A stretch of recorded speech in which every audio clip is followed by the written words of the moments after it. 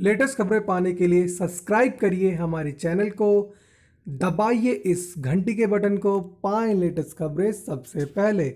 Ration card 2018 की नई सूची किसको मिलेगा? राशन जल्दी देख लो दोस्तों, अगर आपने भी 2018 या इससे पहले अपना राशन कार्ड बनने के लिए दे रखा है और आप भी जानना चाहते हैं कि आपका नया राशन कार्ड बना है या नहीं तो आज हम आपको बताएँगे कैसे आप अपने मोबाइल से राशन कार्ड की नई सूची में अपना नाम देख सकते हैं। इसके लिए आपके पास एक मोबाइल होना चाहिए। आपको अपने मोबाइल में किसी भी में राशन कार्ड सूची लिखने के बाद अपने राज्य को लिखना होगा। इसके बाद आपको नीचे रिपोर्ट का ऑप्शन मिल जाएगा। आपको वहाँ पर अपना शहर या गाँव लेना है और आपका नाम अगर सूची में होगा तो दिख जाएगा। अगर आपकी समझ में ना आए तो आप इस वीडियो को भी देख सकते हैं।